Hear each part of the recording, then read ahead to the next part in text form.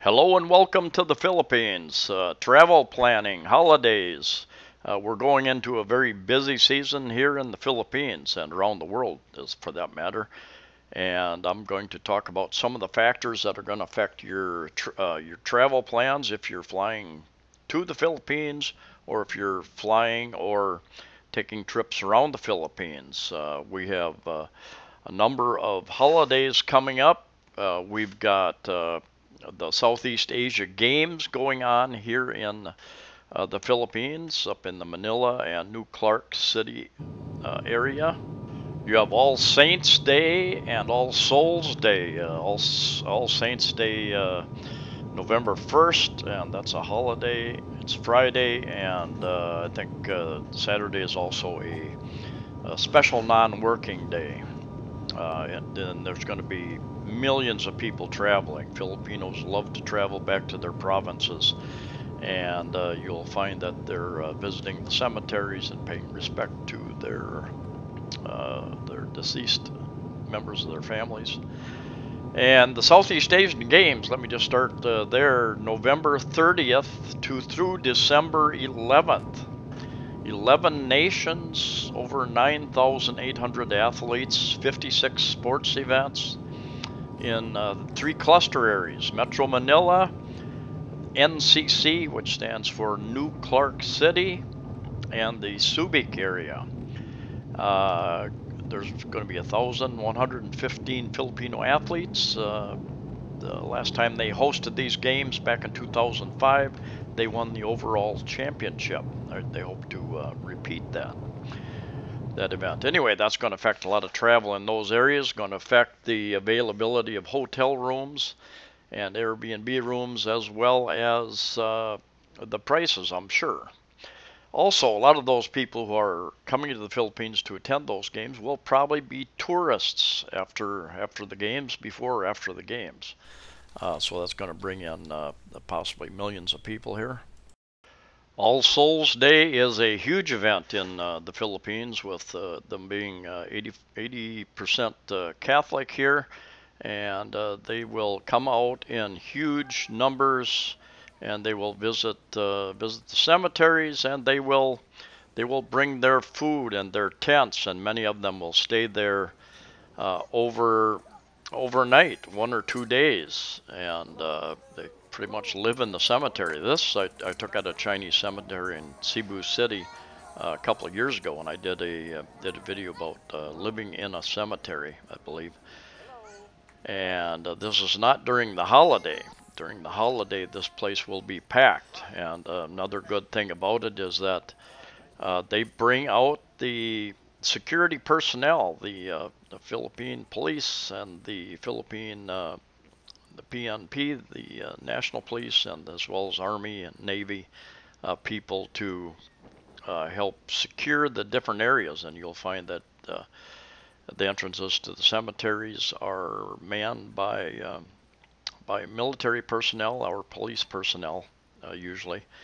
And I believe they probably have a lot of undercover people as well watching that. they've instituted some special security situations at, for instance, uh, the bus terminal in, in uh, the South Bus Terminal downtown Cebu City, where no ticket, no entry. It used to be just you'd go and get on the bus and uh, you'd buy your ticket after the bus left. You'd pay for it, and now they've uh, they're forcing them to set up stands outside of the bus terminal so that you have to buy your ticket before you get into the terminal which is good because they had no control on who was going into the terminal previously. These buses often get uh, very busy on weekends when uh, the Filipinos get their one or two days off as people go back to their provinces. Uh, but uh, come a holiday, I, I, a couple of years ago, I took a trip on uh, Easter holiday with some people, and I think we waited uh, we waited about an hour and a half. There were buses there, and they just kept filling up, filling up, filling up about an hour and a half uh, later, we finally got on a bus. So first of all, here's a list of uh, holidays and special non-working days. Um, you should take probably take a picture of this and keep it on your phone or someplace. Uh, make a copy of it uh, because we have lots of holidays and additional special non-working days down there at the bottom. Now, right here as I'm doing this uh, in a couple days, uh, November 1st, All Saints Day. And uh, normally all government offices are closed on these non-working days. Uh, most businesses, I believe, in most parts of the Philippines are open, but you need to check on that. Uh, uh, banks may or may not be open. And then each province, each city and each province can have its own special holidays as well. Uh, there was uh, a day this past year that I went to immigration on a Monday, and uh, Cebu had a had a I think a founding celebration every year on a particular day.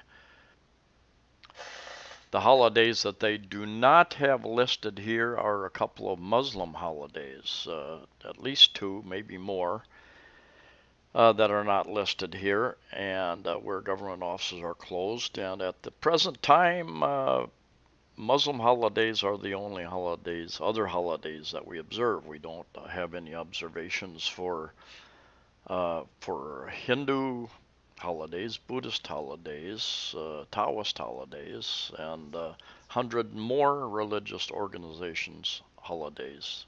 In other news, important news, uh, in the last uh, day or so, uh, we've had a 6.6 magnitude earthquake uh, in the Philippines, in Mindanao. And uh, I think there's about seven people that have been confirmed uh, that died in that earthquake. About two weeks ago, they had a similar size earthquake uh, in that general area, I believe, in, in the southern Mindanao, Davao area and I think it also killed about seven different people. And uh, this is an interesting site, Earthquake Track Plus. You can sign up uh, for information and alerts.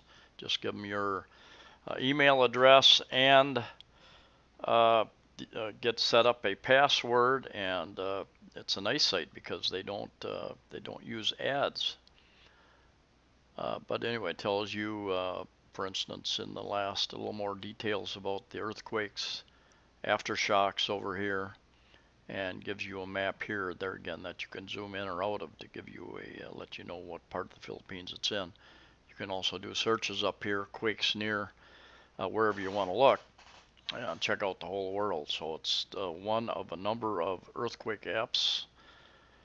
Uh, I use an app called uh, Volcanoes and Earthquakes on my phone as well.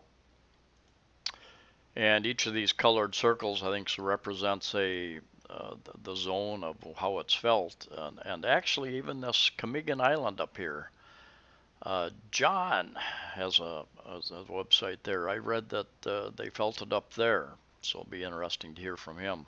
John at uh, an American expat in the Philippines.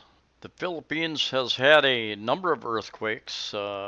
Under under six in the last uh, uh, few months, and uh, this area north of, in fact, this area north of Luzon, part of Luzon, but the Batanes Islands up here, they had a, a devastating earthquake.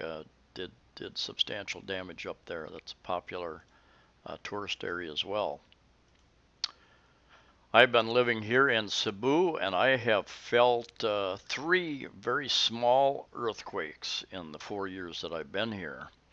Uh, back in 20, uh, 2013, they had a, a, pretty large earthquake was uh, centered uh, just off of Bohol here, this Bohol Island.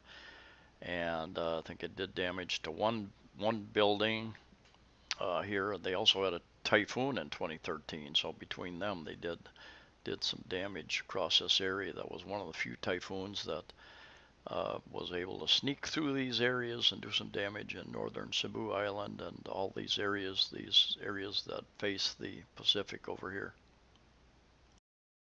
We also have the Christmas season, of course, and we have uh, New Year's. Uh, many of the different cities have uh, have different types of festivals uh, throughout the different months. Um, uh, here in Cebu City, we've got the huge Sinulog Festival, and it uh, pretty much goes through the middle of, uh, uh, starts about the second week of of January and culminates on the third Sunday of January.